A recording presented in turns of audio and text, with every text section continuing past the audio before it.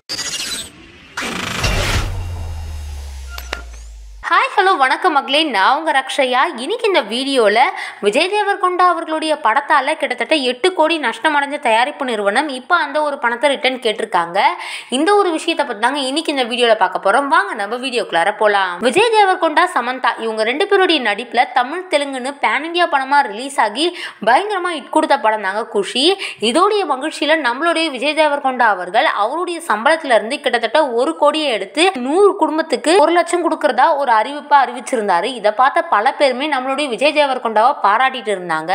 But இருந்தாலுமே கிட்டத்தட்ட ரெண்டாயிரத்தி இருபதுல விஜய் தேவர்கொண்டா அவர்களுடைய நடிப்பில் தெலுங்குல ரிலீஸ் ஆகி நஷ்டம் அடைஞ்ச படம் தாங்க வேர்ல்டு ஃபேமஸ் லவர் இந்த ஒரு தயாரிப்பு நிறுவனமான அபிஷேக் பிக்சர்ஸ் இப்போ நஷ்டஈடு கேட்டிருக்காங்க.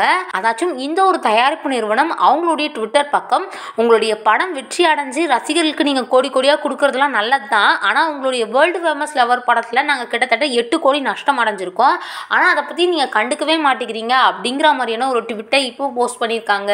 அது மட்டும் இல்லாமல் தியேட்டர் ஓனருக்காக இருக்கட்டும் இந்த மாதிரியான தயாரிப்பு நிறுவனங்களுக்காக இருக்கட்டும் கொஞ்சம் ஆதரவாக இருங்க அப்படிங்கிற மாதிரியான ஒரு சில விஷயங்களையும் ஷேர் பண்ணியிருக்காங்க. நீங்கள் இதை பற்றி என்ன நினைக்கிறீங்கன்னு மறக்காமல் கமெண்ட் பாக்ஸில் கமெண்ட் பண்ணுங்கள் இதே மாதிரி இன்ட்ரெஸ்டிங்கான சினிமா நீங்கள் தொடர்ந்து பார்க்கணுமா மறக்காமல் பிசி டிஜிட்டல் டெலிவிஷன் சேனலை சப்ஸ்கிரைப் பண்ணிக்கோங்க. அப்படியே இந்த பெல் ஐக்கானும் கிளிக் பண்ணிக்கோங்க.